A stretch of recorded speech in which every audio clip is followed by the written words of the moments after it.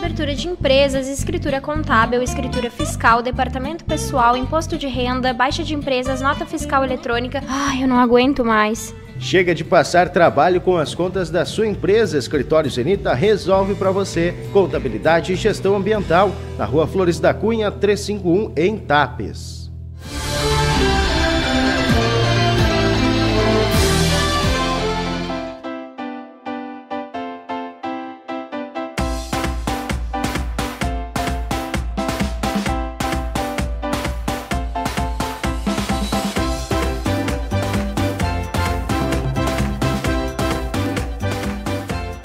Hoje, 31 de outubro, é Halloween, o Dia das Bruxas como é conhecido no Brasil. A celebração original de países de cultura anglo-saxã, em que a noite de 31 de outubro, que antecede o Dia de Todos os Santos, é tomada pelas bruxas e almas que vagam pelo mundo.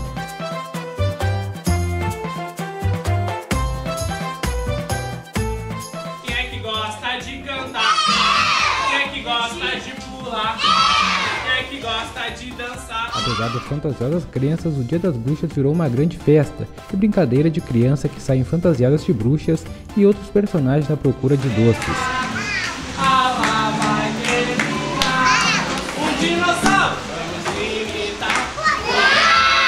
Em algumas escolas, como a creche Raio de Luz, as crianças curtiram uma festa especial educativa que contagiou famílias.